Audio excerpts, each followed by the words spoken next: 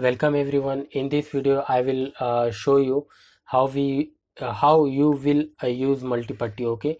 So first first need you have to do uh, you have to configure your putty.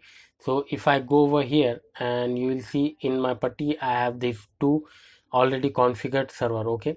So if i go to the putty so you need putty and putty gen okay? If i click over here 10.128 dot and 0.4 okay this is my windows uh, ip address. So uh, we didn't able to connect to that particular ip address okay? But still i am showing uh, or i i'll do one thing. Okay uh, we will understand okay? Uh, inst instead of this ip address this is your ip address okay? And so how i configure this and this ip address so that's i'm showing in this video. So in session we have do that uh, in appearance uh, I will change uh, the particular size okay? This is my bold or I will use bold and italic. And my font size is for uh, 14 and okay? And in data uh, if your username is uh, ubuntu so you need to write ubuntu. If your username is centos so you have to use centos or ec2 whatever. So in my case it's uh, ubuntu.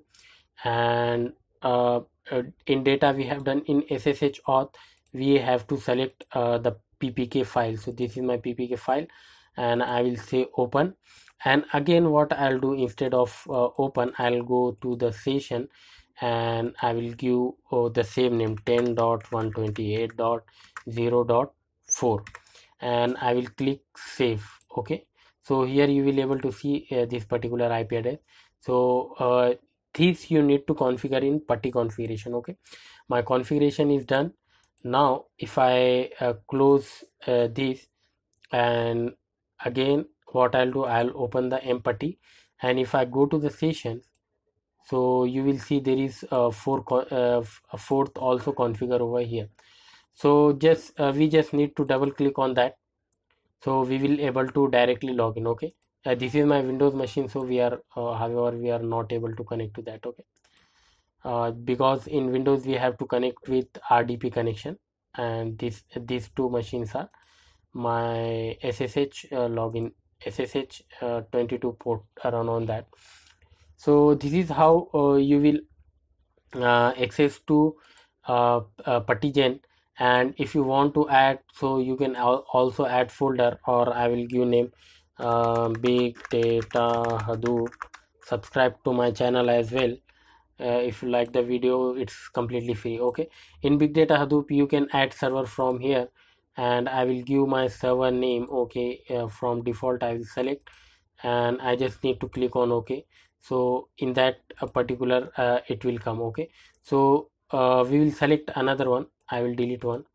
Okay uh, we will delete that. So yes and in big data what i'll do add server and from here i will add a server to okay okay uh, so if i double click on that so it's asking for uh, login. So i will type ubuntu and hit enter. So we will be able to log in and if I type lsb underscore release hyphen a so it will also show you which distribution we are using. So we are using ubuntu.